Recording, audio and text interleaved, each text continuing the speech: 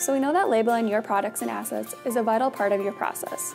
But are you wasting time and resources with your current labeling strategy? Implementing a print on demand solution gives you the flexibility to print the labels you need only when you need them. Today you'll see the CAB Squix Thermal Transfer Printer. This system is affordable, versatile, RFID capable, and you can even add an applicator to make it a print and apply system. So keep watching and listen close because we got John to reveal the biggest mistake he sees people making with the thermal transfer printers. Trust me, you won't want to miss it.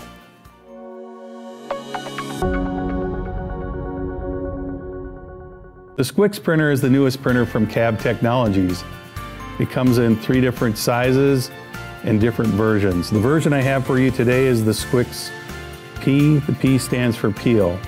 You would use this printer in a manufacturing environment where you have somebody handling and labeling product at the same time. One of the great cost-saving benefits of having a printer like the Squix printer is reducing your label inventory.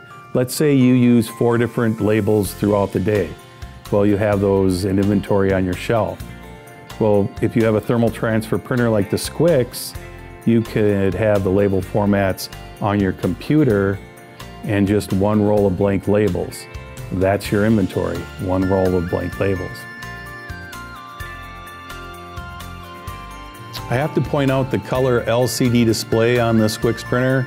It mimics an iPhone and it really makes it easy to navigate through the printer settings. And I also like the bifold door, which allows the printer to be put in a tight spot and you can still gain access to the labels and the ribbon. I have to note that the print mechanism has been rebuilt from the A4 Plus. It's much more robust and industrial, and I really like this the look of this and how this operates. Um, anything green on any of these green adjustments within the printer is a tracking adjustment. So this is the margin stop. This keeps your roll of labels in the printer. You have these two green knobs, which are your ribbon tension and your print head up and down. Now anything red on the printer I would call media tracking adjustments. So you have your label guide here, which is gonna hold your label tight as it goes through the printer, and your print head pressure, which allows you to adjust how much pressure is on your print head.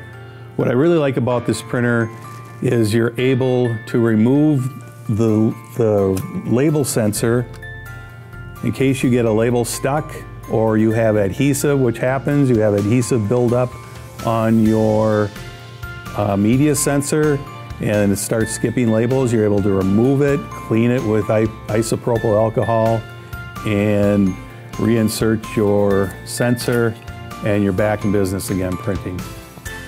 So as I stated earlier, this is the Squix 4P, and the P stands for peel. Uh, another version of this printer is the 4.3 version, which has a more industrial printhead. And that printer is intended for printing direct thermal media, which does not use a ribbon. I also like the modular construction of this printer, which allows you to add a cutter or a perforator or a stacker, and you can even make it into an applicator. So if you have one of these printers, you could probably hook it up to your network and print from your information system, or you could uh, connect it USB to a laptop and print labels with one of the many label software packages that are out there. But a really neat way to, to utilize this printer is to store formats within the printer and access them through this LCD display and you would really have a standalone unit where it's not necessary to even have it hooked up to anything. As you can see, the Squix printer is very versatile. It's the printer I would choose if I was printing on small labels. It can print on a 4 millimeter height label. It's also available with RFID.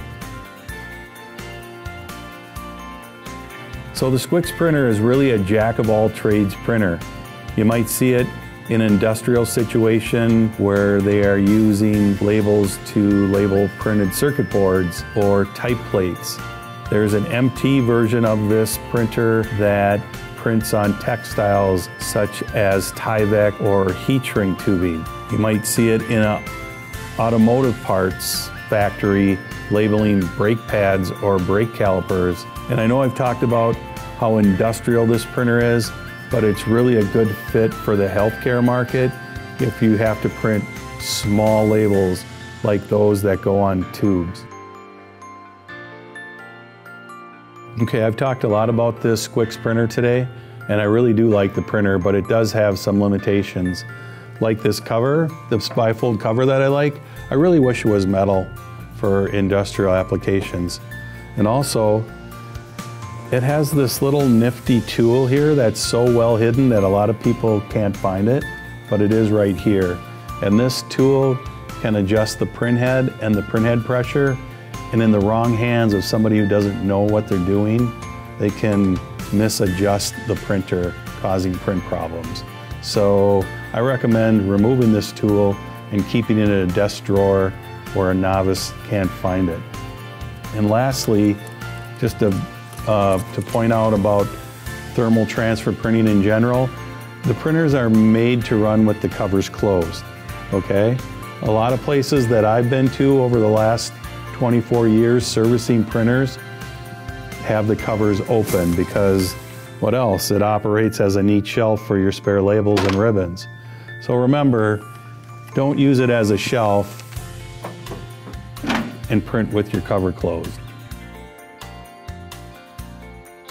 I like the Squix printer because it's affordable. It's half the cost of the competitor's printer. So for a 4 inch 300 DPI industrial printer, CAB does it best for less.